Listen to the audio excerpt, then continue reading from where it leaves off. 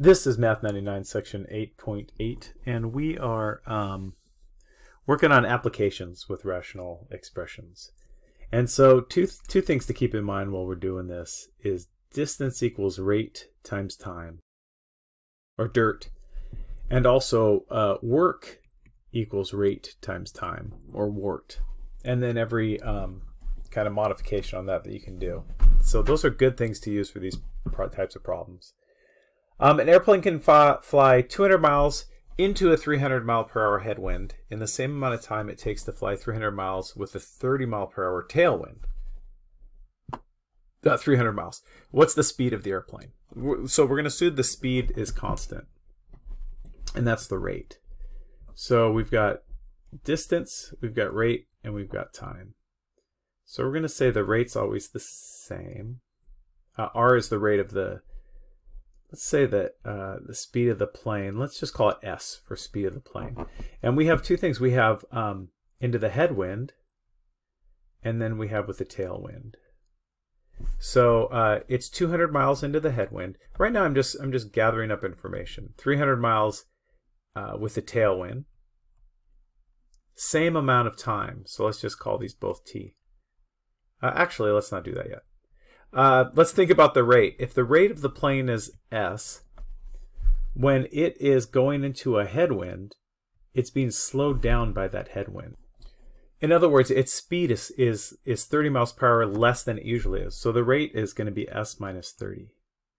And if it has a tailwind, that's going to speed it up. That's going to that's going to push it along, and that's a 30 mile per hour tailwind. So that rate would be s plus 30. So here is where it gets kind of uh, convenient for us.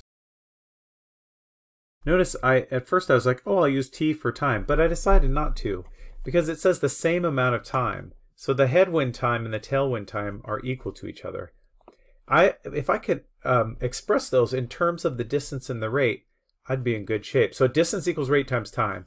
That means that uh, divide both sides by rate. Distance divided by rate equals time.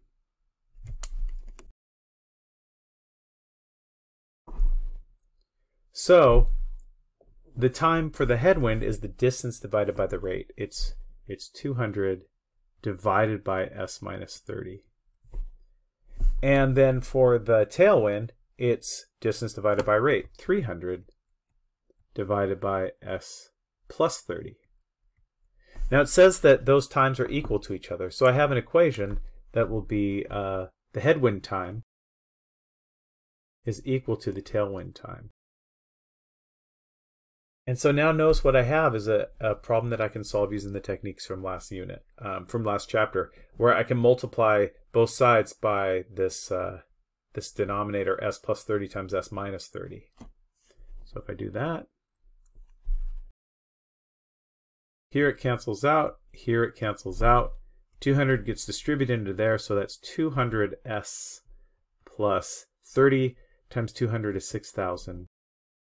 300 gets distributed into there.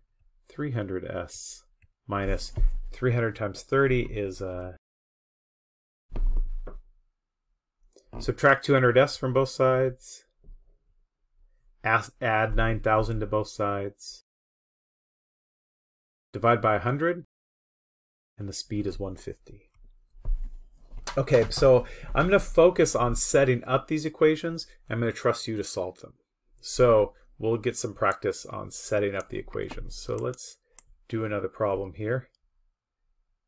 Uh, Judy can pilot her powerboat.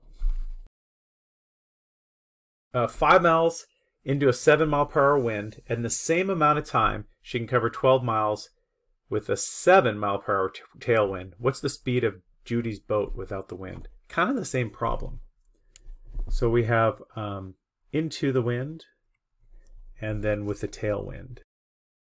And I've got distance, rate, and time. So the distance into the wind is uh, 5 miles. Into the wind is a 7 mile per hour headwind. So her the, the rate of her boat, I'll use R for the rate of her boat because that S was ugly. It would be R minus 7. Uh, the tailwind is 12 miles with 7 mile per hour tailwind. The tailwind will spin her, speed her up. So r plus 12. And now um, it says the same amount of time. So this time equals that time. All right, well, I know that since distance equals rate times time, time equals distance divided by rate. So this time will be 5 divided by r minus 7. This, this time will be 12 uh, divided by r plus 12. And since those times are equal to each other, I can set up my equation like this and solve it. Okay. Uh, let's take another one of these. So Jasmine trained for three hours on Sunday. She ran eight miles and then biked 24 miles. Okay, so let's see. She ran and she biked. Got rate. We've got time. Um, her biking speed is four miles per hour faster than her running speed. What is her running speed? Okay. So she trained for three hours. Her total time was three hours. She ran eight miles. She biked 24 miles. Let's see. Her biking speed is four miles per hour faster than her runner speed. I'm going to come back to that because I'm I've got some time thing going on here. Let me think about this. Um, she if she trained for three hours on Sunday, her running time plus her biking time must be three hours. So I'm going to say um, R for her running time. If she ran for three uh, for R hours, but three hours total, her biking times would be three minus R. Now notice I'm doing this because I, I have some rates compared here. I'm gonna I want to write this in terms of this. And I, I used R for running. Maybe I'll use N because then it won't look like rate. But you can use whatever you want. All right, if distance equals rate times time, uh, rate equals distance divided by time. So distance divided by time. So her rate for running should be 8 divided by n. And her distance for biking should be 24 divided by 3 minus n. Now, notice they're not equal to each other, these, these rates. Um, her biking speed is 4 miles per hour faster than her running speed. So this is faster than that. So if I write an equation for this, it would be 24 over 3 minus n. Her biking speed is 4 miles per hour faster than her running speed. And notice that's a 3 minus n. So when I go to multiply this out, my common denominator is n times 3 minus n. Multiply it out and solve it grab this Kayla problem and take a look at it. Uh, Kayla rode her bike 75 miles home from college one weekend and then rode the bus back to college. Okay, so it's 75 miles one way. Um, it took her two hours less to ride back to college on the bus than it took her to ride home on her bike. And the average speed of the bus was 10 miles per hour faster than Kayla's biking speed. Find Kayla's biking speed. Okay, so we've got uh, home. How about well let's call biking and bus. So we've got some stuff about riding our bike and riding the bus. The distances are the same. They're both 75 so that's that's convenient uh, it took her two hours less to ride back to college on the bus than it took her to ride home on her bike okay so let's just call her time uh, two hours less to ride back on the bus than it took to ride on the bike. So if it took her t hours to bike home, it took her t minus two hours, two hours less to um, to take the bus back. Okay, so let's think about the rate in terms of the distance and the time. Uh, rate is distance over time, so the rate for the bike would be 75 over t. Uh, for the bus, it would be 75 over t minus 2. And now notice those rates though aren't equal to each other. Uh, the average speed of the bus was 10 miles per hour faster than her biking speed. The speed of the bus, the rate of the bus, was 10 miles per hour faster than the rate of her biking. You got a common denominator t minus 2 times t, multiply everything by that, solve it on out. A work problem. Let's do a work problem. Uh, distance equals rate times time. We've got that dirt. We also know that work equals rate times time. So one gardener can mow a golf course in four hours, while another gardener can mow the same golf course in six hours. How long would it take if the two gardeners worked together to mow the golf course? All right. So I'll say first and second. And I've got the amount of work they can do, the rate, and the time. Now here's what is interesting to me.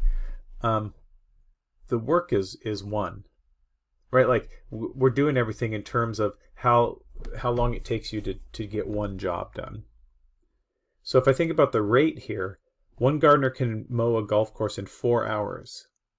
So if it takes them four hours to do one job, their rate is basically one fourth. They get one fourth of it done in an hour because it takes him four hours to complete it.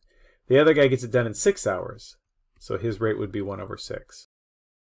How long would it take the gardeners if they work together to mow the golf course? Okay, so if they're going to work together, they have they work for the same amount of time. So these are both t's. Yeah? Okay, so if the job was one, now I can talk about how much of the job they get done in t amount of time. So work equals rate times time. Rate times time, this would be t over 4. This would be t over 6. So if they work together, the amount of work that the first person gets done plus the amount of work that the second person gets done, that's them working together, equals 1. There you go. You've got a least common denominator of 12, or you could multiply by 24 as well and get there from there. Uh, one more Problem like this. Two, two hoses can fill a swimming pool in 10 hours. It takes one hose 26 hours to fill it. How long will it take the other hose working alone to fill it? Interesting. So we've got hose 1, hose 2, work rate, and time. Um, two hoses can fill it in 10 hours. So the time is 10 hours. That's how long they're working. It would take one hose 26 hours to fill the pool by itself. So its rate is 1 26th. We don't know the other hose's rate. That's what we're trying to find. So I'm going to call it 1 over t. So if I think about the amount of work that's going on here, work equals rate times time. Um, 10 times 1 26th, that's 10 26ths, which is what? 5 13ths. So in 10 hours, the hose 1 gets 5 13ths of it full. In 10 hours, we don't know the rate to this one, but it gets 10 over t of it done. Working together, they get the whole thing done. So 5 thirteenths, that's the amount of work the ho first hose gets done in 10 hours, plus 10 over t, that's the amount of work the second hose gets done in 10 hours, equals 1. It's filling up one pool. Looks like your common denominator is 13t, your least common denominator. Multiply everything by 13t, and you are there. All right, dig into these problems. They take some work, so ask plenty of questions. Again, we're looking at the um, elementary algebra book for this section.